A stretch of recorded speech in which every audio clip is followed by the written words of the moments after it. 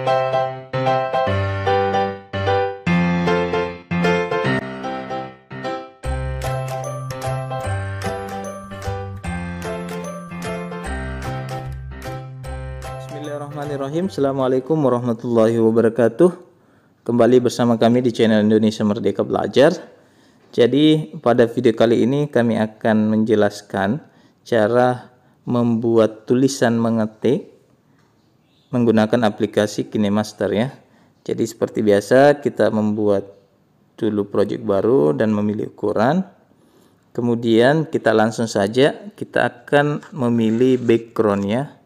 Background yang dijadikan sebagai uh, papan untuk tulisan mengetik itu ya. Misalkan saya cari background papan tulis seperti ini. Kemudian saya pilih kemudian uh, kita klik saja. Ya oke. Okay. kemudian kita tarik untuk beberapa uh, waktu. Kemudian kita pilih ini. Ya oke. Okay. selanjutnya kita akan uh, membuat uh, teks di bawah backgroundnya. Jadi caranya karena dia di bawah background maka kita pilih lapisan kemudian kita pilih teks. Ya oke okay, kita tulis misalkan selamat datang ya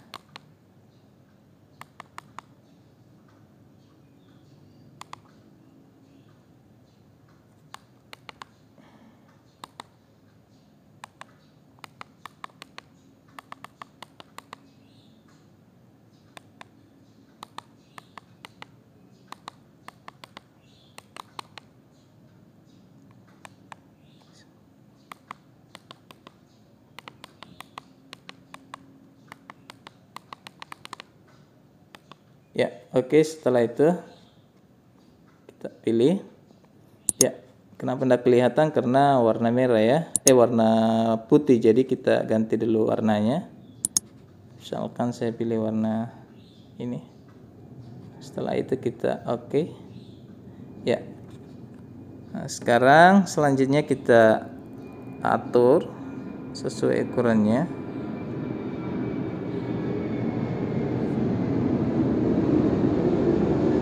Oke, kemudian untuk teks itu jika kita ingin mengganti fontnya, kita klik ini. Kemudian kita bisa mencari font yang lain. Coba kita pilih ini. Oh, tidak kentara ya. Kita cari yang lain saja.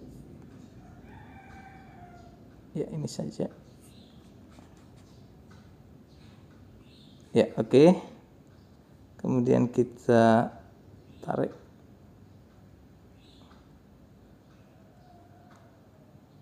Ya oke. Okay.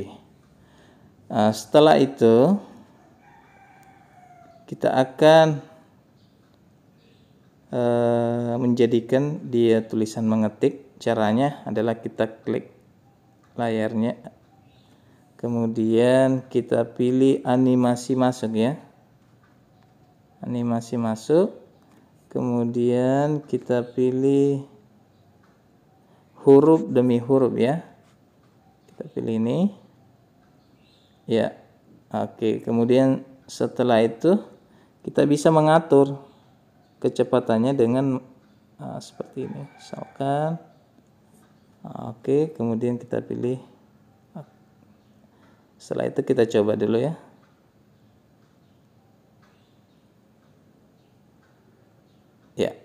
oke. Kemudian ini juga bisa kita tarik.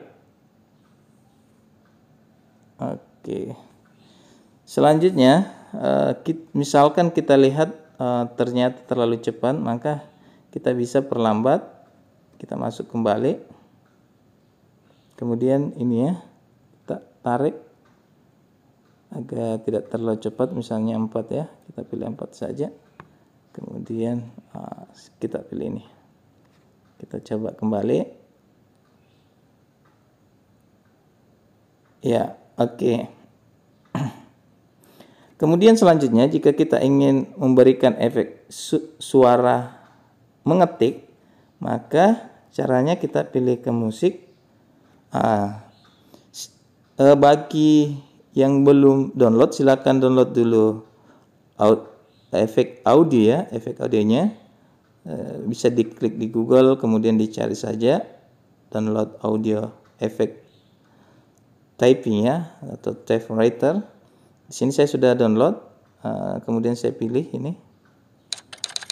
Ya, setelah itu saya klik tanda tambah ini.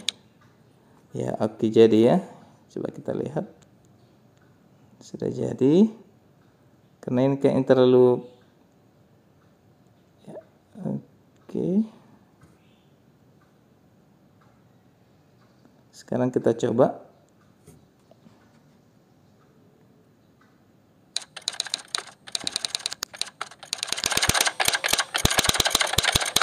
Ya oke.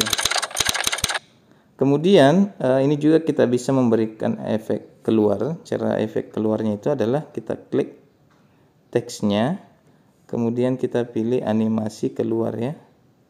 Nah, di sini juga banyak banyak banyak macam bagaimana efek keluarnya. Uh, silahkan dicoba sendiri. Misalkan saya pilih saja efek memudar ya.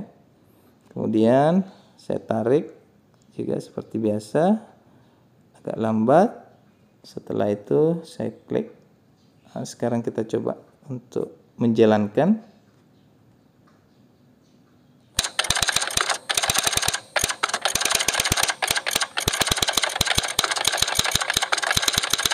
ya ini adalah efeknya kemudian efek mudanya ya oke okay. oke okay, uh, eh, demikian Semoga bermanfaat untuk kita semua. Assalamualaikum warahmatullahi wabarakatuh.